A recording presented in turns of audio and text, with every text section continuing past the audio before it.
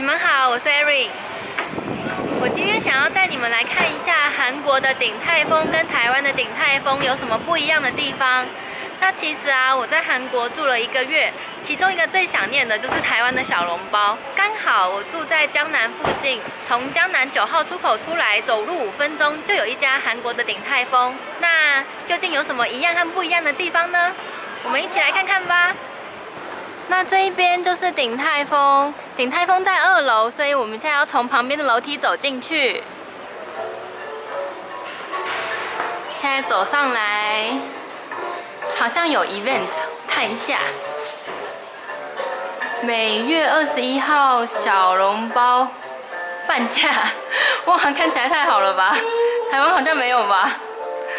现在要走进来。今天是礼拜天下午，虽然我已经下午来了，不过看起来好像还是人很多。这边都是在排队等待的人，我先去预约一下好了，不知道要等多久。那这边呢也有现场师傅在同时制作小笼包，这个部分的话跟台湾有一点像，直接让我们看到现场。师傅正在做。那现在这边是鼎泰丰的里面，那可以看一下，就是室内装潢的感觉。在韩国鼎泰丰有一种高级餐厅的感觉，在台湾的话，我觉得是虽然有贵一点点，但是基本上算是一般人都还可以去吃的地方。好像换我了。감사합니 다。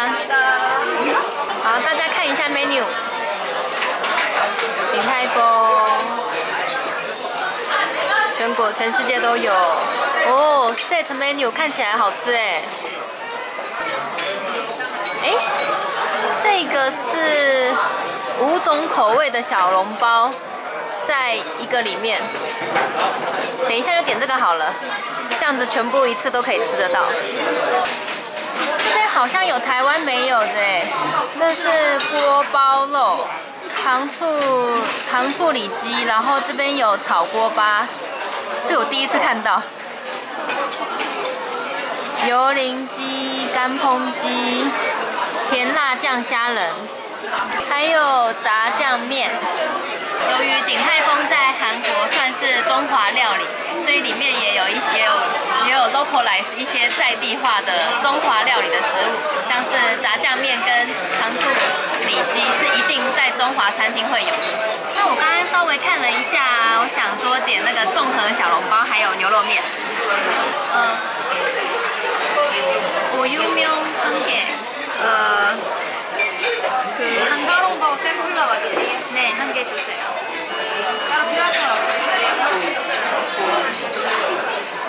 先试吃一下小菜好了，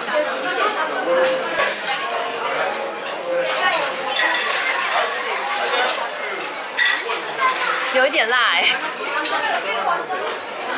我的还没来，他们努力做小笼包，应该其中一个是我的吧。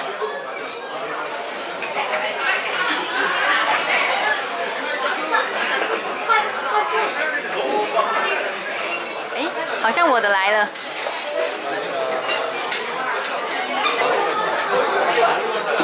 哇，我的牛肉面来了，看一下它的肉，三块，三大块，面的话跟台湾很像，也是像这样子的细面。我来试试一下牛肉面的牛肉好了，这么大块的牛肉。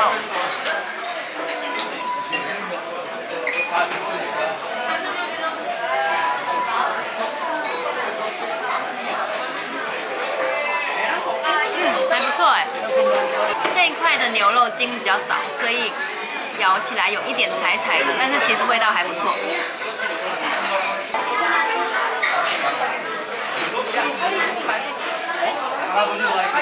牛肉面的面跟台湾一样是细面，跟汤一起吃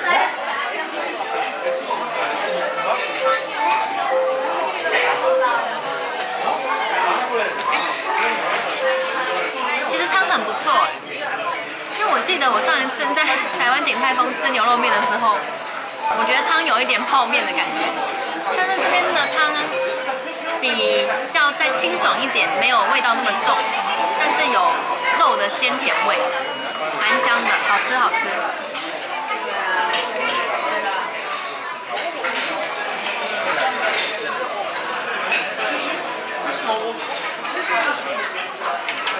小笼包终于来了，哎，不过我点的是综合小笼包，这样实在看不出来哪一个是哪一个。嗯，那先来试试看好了。哦，里面的汁都流出来了哎。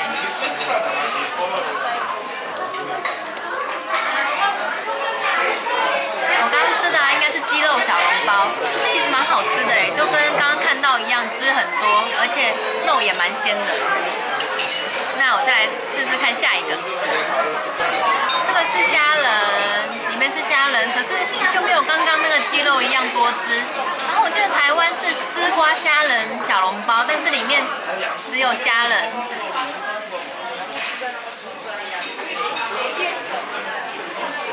嗯，我觉得蛮普通的，不推。我觉得台湾的丝瓜虾仁小笼包比较鲜甜一点，因为刚韩国的只有虾仁，所以我觉得台湾的比较好吃。来第三个是什么呢？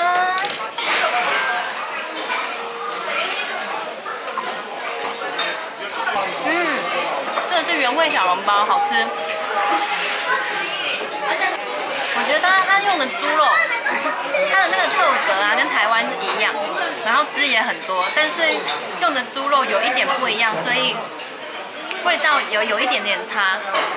那整体上我觉得台湾用的猪肉好像比较在新鲜甜一点，但是韩国的也不错吃。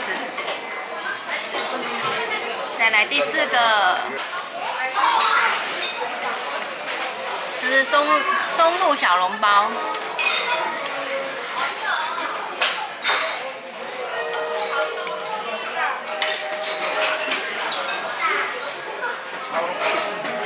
我第一次吃到这个味道，哎，因为我觉得，因为台湾是松露小笼包，但是我觉得韩国的好像是松茸小笼包，不太一样。最后一个味道应该就是蟹粉了吧？里面有蛮有一些蟹肉。